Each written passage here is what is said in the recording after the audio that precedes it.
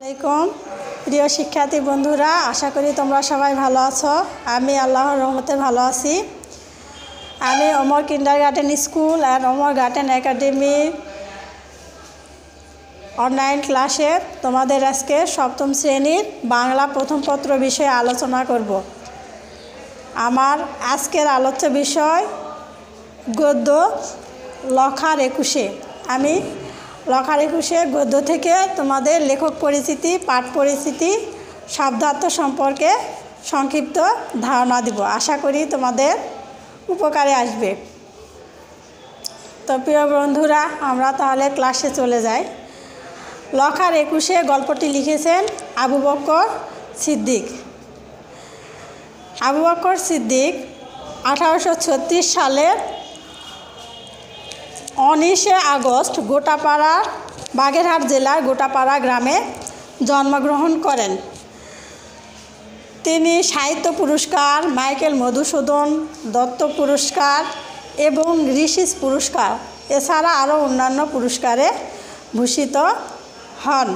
তার উল্লেখযোগ্য রচনাগুলো হচ্ছে উপন্যাস, জলরাক্ষস, খরাদহ, একাত্তরের হৃদয়ভস্য বারুদ পোড়া প্রহর ইত্যাদি।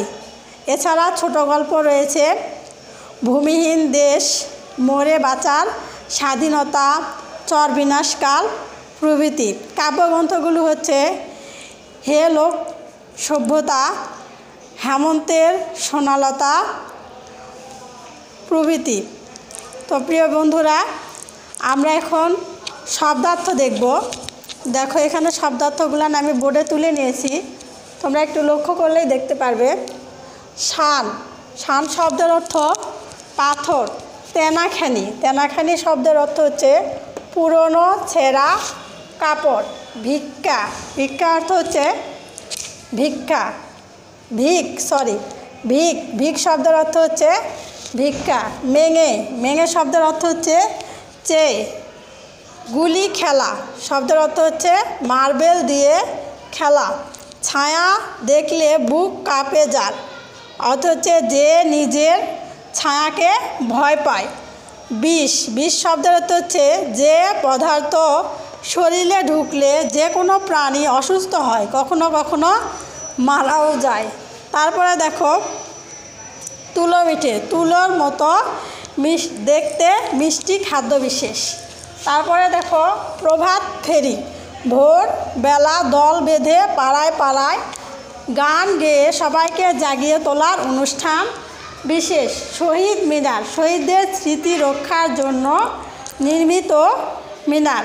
তো প্রিয় বন্ধুরা, আমরা শব্দার্থগুলান আগে পড়ে তারপরে খাতায় লেখার চেষ্টা করব। বারবার পড়ে খাতায় লিখলে মনে রাখতে অনেকটা সুবিধা হয়। তারপরে আমরা এখন আসি পাঠ পরিচিতি। আমাদের এই গল্পের মূল ভাব কি?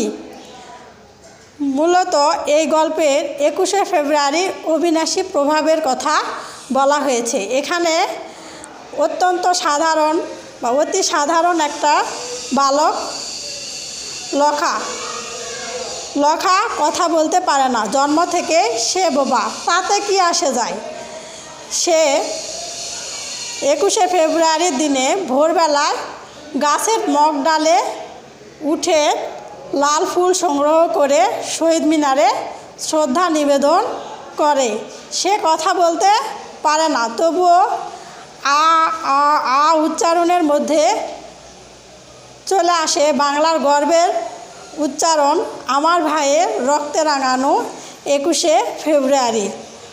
তো প্রিয় ছাত্রছাত্রীবৃন্দু, একুশে ফেব্রুয়ারি যে অবিনাশী প্রভাবের কথা এখানে বলা হয়েছে। লখা একটা সাধারণ কৃষক।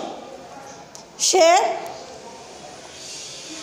এক কথায় তাকে বলা যায় টোকায় সে রাস্তার পাশে সারা জীবন থেকেই জীবন ধারণ করে। তার মা তাকে অন্য জায়গা থেকে চেয়ে বা ভিক মেঙে নিয়ে এসে খাওয়ায়। তো এখানে সে লখার জীবন কাহিনী সম্পর্কে আমরা জানতে পারলাম এবং জানতে পারলাম আমাদের একুশে ফেব্রুয়ারির তাৎপর্য সম্পর্কে।